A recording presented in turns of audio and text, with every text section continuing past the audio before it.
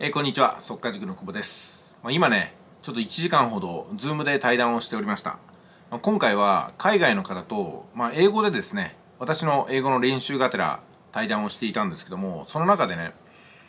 あの大きく課題として残った点が2つあるんですよ。でその1つはね言語なんですけどもあの哲郎はっていうふうに言われるんですけどね哲郎は英語をなんとか喋っているけども日本人でそのぐらいのレベルで英語を喋れるやつっているのかいって聞かれて私の感覚なんですけどもほとんどいないんじゃないかなって答えましたね。まあそうするとその今日ね対談してくださった方っていうのは、まあ、そうだろうねってでも多分自国民の言葉しか喋れないのは今となっては日本人だけじゃないかっていうわけですよ。つまり情報が少なすぎるってことなのかもしれませんけどもコミュニケーションできる相手も少ないってことなんでしょうね。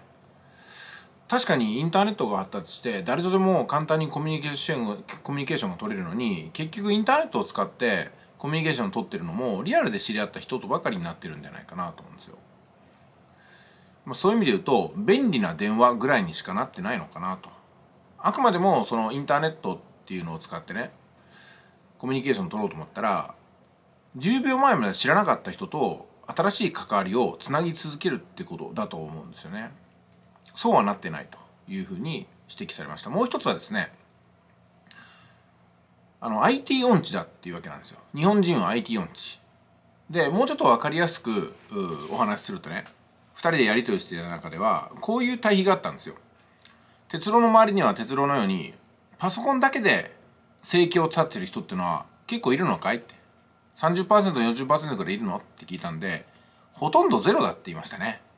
私がね思いつくところ本当にね吉谷さんをはじめとし数名ぐらいなんですよ。ほとんどゼロですよだから。でも今日お話しくださった方はそうだろうって。やっぱりねあの友人の5人に3人ぐらいはパソコンで飯食ってるぜっていうわけなんですよ。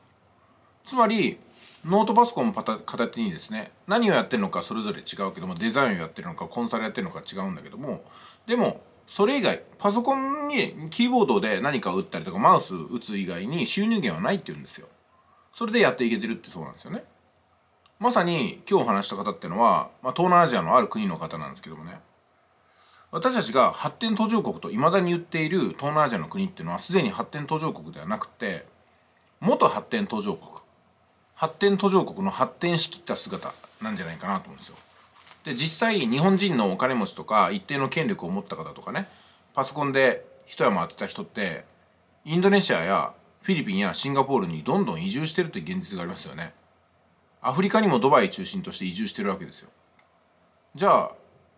あの文化やインフラの劣った国に移住してるんでしょうか？違いますよね。日本よりも住みやすい国に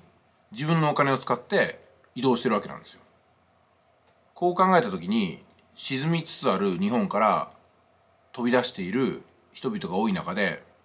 選択できて日本にいるんだったらまだいいんですよ。選択できずに日本に居続けてる人がいるっていうのもちょっとこう怖いものがあるなと思うんですよ。うん、まあ何て言いますかねさっきね吉田さんから生き残っていた10年っていう風な動画を見させてもらったんですけどもまさにね生き残ってきた人がパソコンで生き残ってきたんならまだいいですけどもパソコン以外のことで生き残ってきた人っていうのはこれからさらに厳しい競争が始まるんじゃないかなと思います。で競争で勝ち残った人が生き残れるんだったらいいですけどもこれはすでにですね滅びる順番を競ってるだけで全員いなくなるのは変わらないっていうことも突きつけられてるんじゃないかなと思うんですけどいかがでしょうか？